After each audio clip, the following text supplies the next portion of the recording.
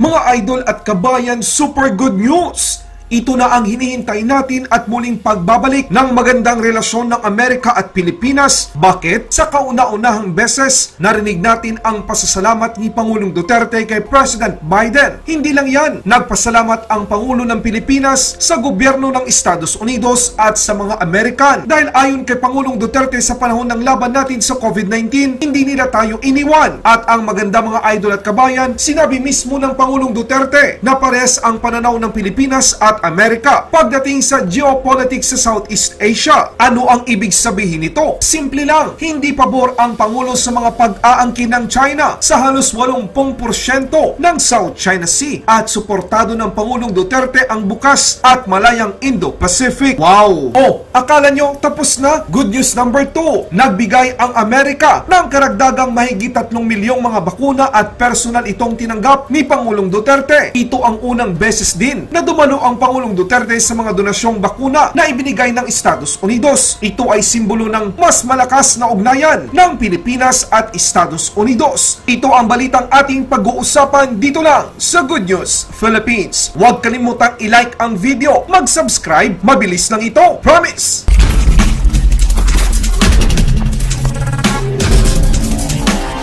Pinasalamatan ni Pangulong Rodrigo Duterte nitong lunes ang Pangulo ng Estados Unidos na si Joe Biden at ang mga mamamayang Amerikano sa pagbibigay ng mga bakunang COVID-19 sa Pilipinas. Yan ang sinasabi ko sa inyo mga idol at kabayan. Huwag kayong masyadong mainip. Binabalasa lang ni President Duterte ang mga barahan ito. O ngayon, sa kanya mismo nang galing ang pahayag na yan. Kaya siguradong inis na inis na naman itong mga Chekwa. Alam nyo ba kung bakit? Dahil nagbigay ang Amerika ng karagdagang mga bakuna, hindi lamang isang milyon, mas marami pa.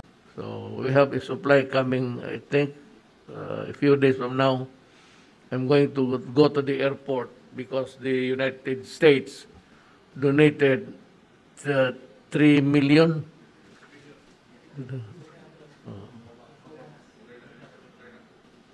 Oh, oh, the Moderna.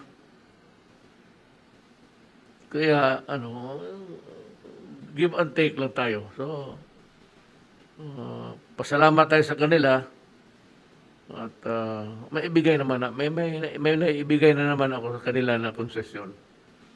Uh, I consider the continuance of uh, 2D, uh, continuance of the visiting forces agreement. Uh, in gratitude, I said, uh, ano lang, mahirap. Ano, papasalamat tayo. Uh, I'd like to thank uh, President of the United States, eh, Biden, the government and the people of uh, America for uh, not forgetting us. Do not forgive, do not forget us, because uh, we share, we share uh, the same